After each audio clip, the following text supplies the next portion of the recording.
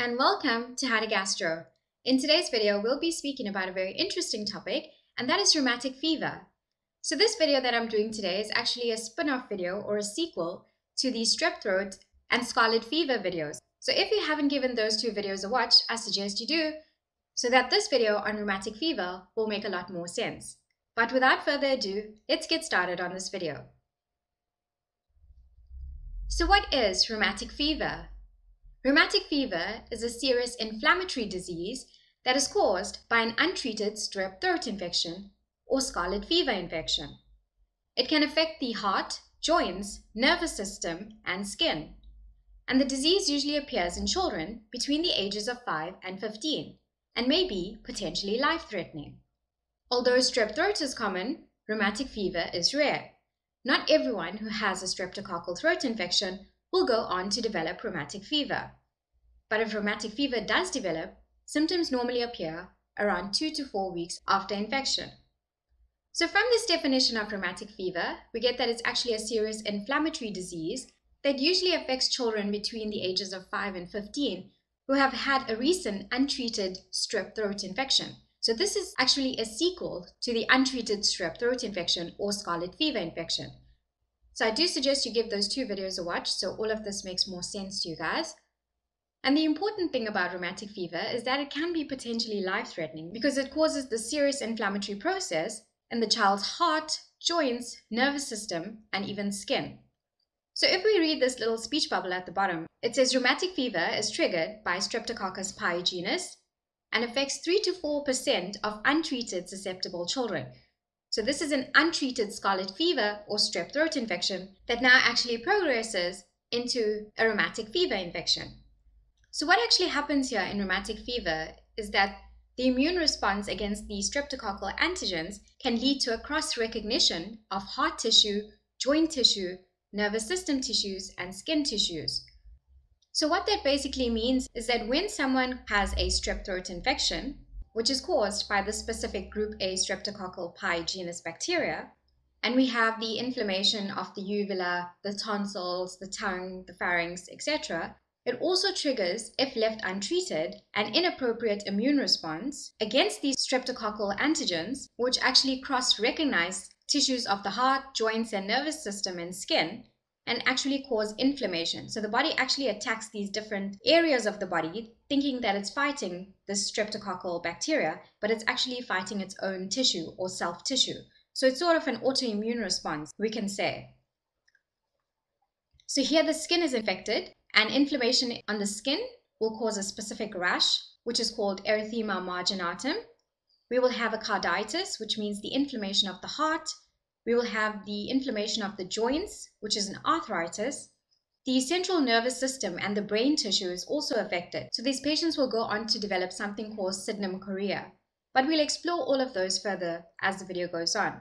So now that we know what the basics of rheumatic fever is, let's take a closer look at how one can contract the disease.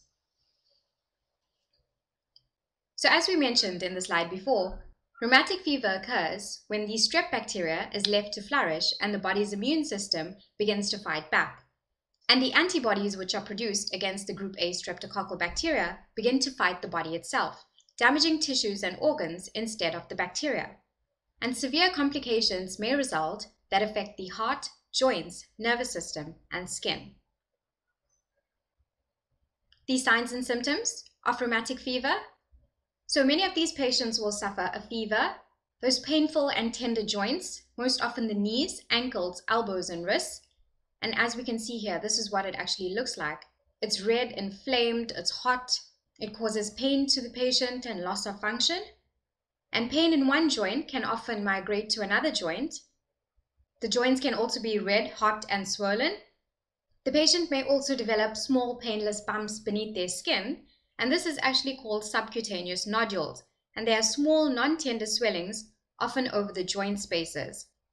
The patients may also have chest pain due to the carditis and inflammation of all parts of the heart, primarily the mitral valves of the heart.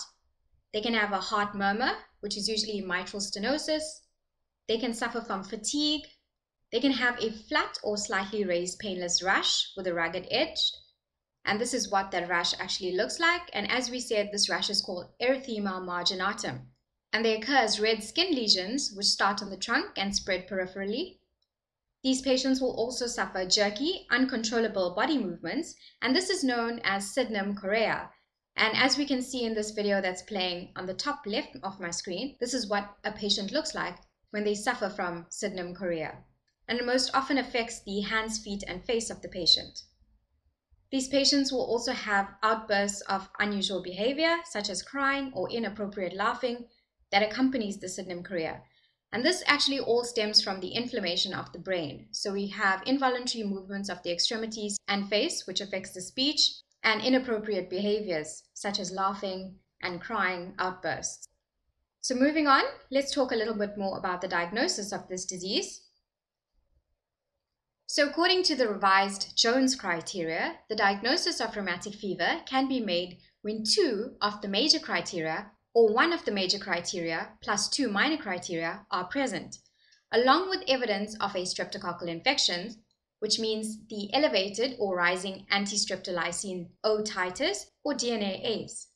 So when we diagnose a patient with rheumatic fever, we look for specific criteria. So part of the major criteria, we have Jones, which is the joint involvement, which is the arthritis. We have O, which looks like the heart, so myocarditis or inflammation of the heart. We have N, which are the nodules, the subcutaneous nodules, which we spoke about. E, which is the erythema marginatum, which is that rash we spoke about. And S, which stands for the Sydenham chorea, which are those involuntary jerky movements. So part of the minor criteria, we have the CRP, which is increased, which is the C-reactive protein. It's a sign of inflammation in the body. We also have A, which is arthralgia, so the joint involvement again, pain in the joint. F, which is for fever, and E, which is an elevated ESR, which is the erythrocyte sedimentation rate, which is also an inflammatory marker. P stands for a prolonged PR interval. Because these patients have a myocarditis, we will see a prolonged PR interval. A stands for an anamnesis, which means an history of rheumatism and L stands for leukocytosis or an increase in the white blood cells of the body. So the diagnosis of the disease is actually made on the basis of either two major criteria being present or one major criteria and two of the minor criteria being present, in addition to a throat culture which shows that group A beta hemolytic streptococci, so GABHS, group A beta hemolytic streptococci, which is that specific bacteria which causes that strep throat infection, or an elevated anti-streptolysin titer, which is actually that specific antibody which is involved in fighting that specific strain of streptococcus bacteria. So here we're looking for either the antigen or the antibody, as well as two major criteria or one major criteria and two minor criteria to confirm the diagnosis of this disease. And finally, let's talk about the treatment of rheumatic fever. So the goals of treatment are to destroy the bacteria, relieve the symptoms, and prevent reoccurrences. Treatment often includes antibiotics, such as penicillin, to eliminate any remaining strep bacteria, and a long-term antibiotic treatment to prevent reoccurrence. So people who have had heart inflammation during rheumatic fever may be advised to continue preventative antibiotic treatment for up to 10 years or longer. We can also administer a non-steroidal anti-inflammatory drug such as naproxen or ibuprofen to reduce the inflammation and pain in these patients. Corticosteroids such as prednisone may also be used if inflammation is more severe. Anticonvulsant medications such as valproic acid or carbamazepine can be used for severe involuntary movements which are caused by the Sydenham chorea and if rheumatic fever is not treated promptly, the long-term heart damage, which is called rheumatic heart disease, may occur. So rheumatic heart disease weakens the valves between the chambers of the heart, particularly the mitral valve, and severe rheumatic heart disease may require heart surgery and can actually result in death if left untreated. So many of these patients who suffer from rheumatic heart disease will actually require a mitral valve replacement, and this can actually be done with a biological valve or a mechanical valve. And that brings us to the end of this video on rheumatic fever. Thank you guys so much for watching. Hope you found the presentation very interesting and informative. Please make sure to like, comment, subscribe, and share. And please make sure you turn on your bell notifications so you'll be notified every time we have a new upload. If you'd like to download a copy of this presentation, you may do so by clicking the link in the description. Take care and bye for now.